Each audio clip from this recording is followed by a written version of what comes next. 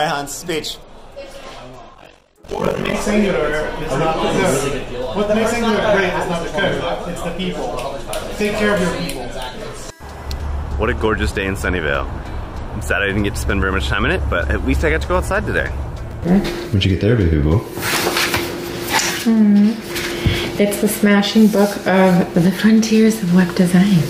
And what is that book? I don't really know. What made you order?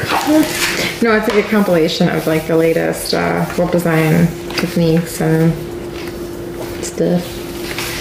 Is have Angular in it? Is there, any, is there any Angular? I don't think so. No. Okay. No, it's purely like design and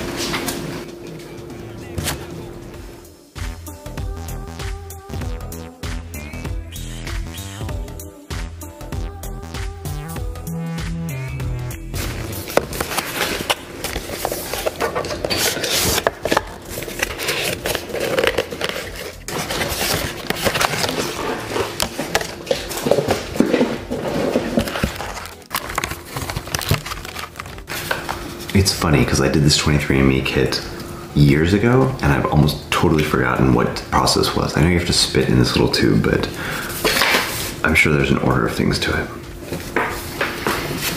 The bad news about doing this 23andMe kit is it says no food or drink for 30 minutes before, and I just ate and drank. So I guess we're doing this another night. So actually, it was a few years ago that I first did the 23andMe kit, and I got both the health reports and the ancestry reports. This was before that they got into that little bit of trouble with the FDA. And my report was filled with really interesting information.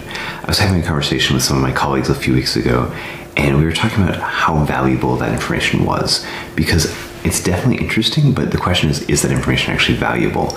And I looked back on what has happened and what I've seen, what I've done with that information, and to be frank, it really isn't valuable, right? Like, I don't live my life differently because of that data. I haven't made any changes. I have not learned anything that is actionable in my life.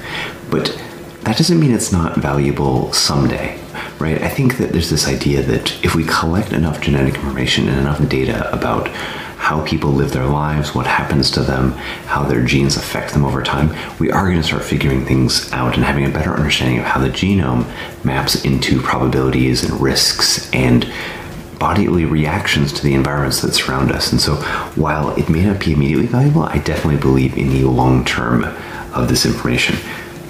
There's also a lot of people that are afraid of the privacy implications of your genome being sequenced and owned by a private company. Now, obviously, they, they make it very clear in their terms and conditions that they don't own it, etc. They just are using it for research purposes and those sorts of things. And I'm totally fine with them using it for research purposes. I'm totally fine with even someone having a copy of my genome. I mean, I've seen Gattaca. I'm not super worried about someone stealing a few flecks of skin or a hair and cloning me. I think those are all very outlandish sci fi concerns. But there are some concerns about things like what happens if a health insurance company finds out that I'm at a greater risk or something? Does that drive up my health insurance premiums? But even then, all of this would be completely moot if we had a healthcare system like the rest of the world where everything was more socialized, where the government was responsible for taking care of everyone in the country, not just those that can afford it.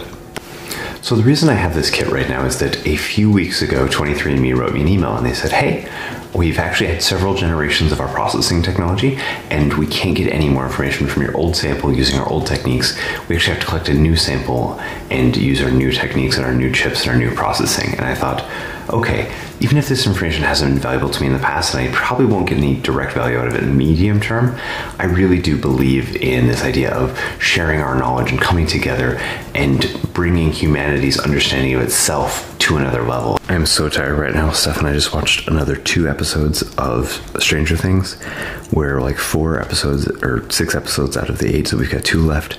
I need to go to bed. Good night.